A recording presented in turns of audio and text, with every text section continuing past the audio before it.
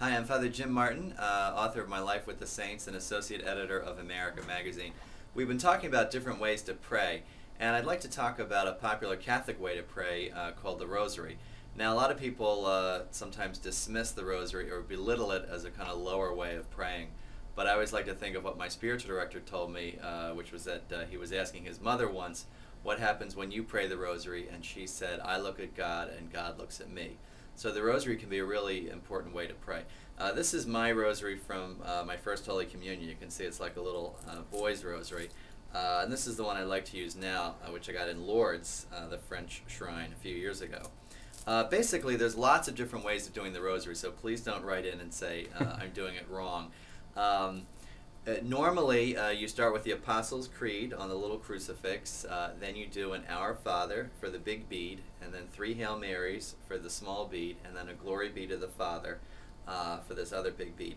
And then you start these uh, what are called decades. That's ten um, uh, Hail Marys. then you end with a Glory be, and then you do an Our Father for the big beads, and then you just keep doing it around. you know, ten Hail Marys, one Our Father, ten Hail Marys, one Our Father. Uh, now, each of those Hail Marys uh, has what's called a mystery attached to it. Uh, there are the glorious mysteries, the joyful mysteries, the sorrowful mysteries, and then John Paul just added the luminous mysteries. And there's different mysteries, um, basically events from Mary's life for the glorious, joyful, and sorrowful, and events from Jesus' life that you can pray about um, when you are uh, doing your decades of the Rosary. I would advise you to go online and find out what those mysteries are because if I told you all of them, first of all, I can't remember them all. I have to look and check um, each day. Uh, it, it, would take probably the, uh, the whole video. So basically, um, there's a couple ways of doing the rosary. Um, first of all, you can use it almost as a mantra uh, to sort of get in touch with God. Uh, as my friend's mother said, uh, God looks at me uh, and I look at God. And so it's just sort of a calming effect that can center you in a way, almost like a mantra. Uh, another way is really to think carefully about the mysteries, um, to meditate on these aspects of uh, Mary's life and Jesus' life uh, when you're saying the rosary. And this way you can kind of imagine yourself uh, in the scene. We talked about Ignatian contemplation that way.